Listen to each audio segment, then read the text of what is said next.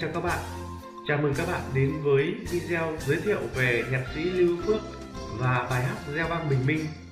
Các bạn thân mến, nhạc sĩ Lưu Phước còn có bút danh là Huỳnh Minh Siêng, Long Hưng, Anh Lưu hay Hồng Chí. Ông sinh ngày 12 tháng 9 năm 1921 tại quận Ô Môn, tỉnh Cần Thơ, nay thuộc thành phố Cần Thơ. Ông là một tài năng âm nhạc thuộc thế hệ các nhạc sĩ của Việt Nam những năm 1940 và có nhiều cống hiến cho nền âm nhạc nước nhà. Để tôn vinh công lao của nhạc sĩ đã có những con đường, tên phố ở thủ đô Hà Nội, thành phố Cần Thơ mang tên ông.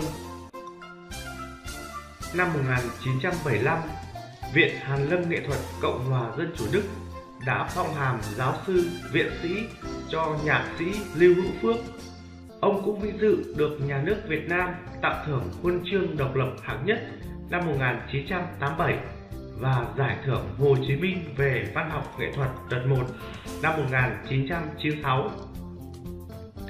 Một số tác phẩm nổi tiếng viết cho thiếu nhi của nhạc sĩ phải kể đến như các bài Thiếu nhi thế giới liên hoan, Múa vui.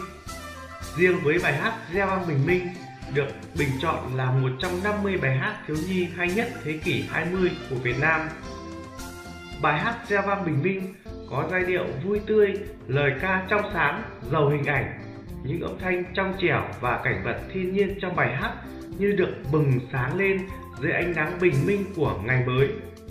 Trải qua nhiều năm tháng, bài hát vẫn nhận được sự yêu thích của nhiều thế hệ thiếu nhi Việt Nam. Sau đây xin mời các bạn và các em cùng lắng nghe bài hát gieo vang bình minh sáng tác của nhạc sĩ lưu hữu phước.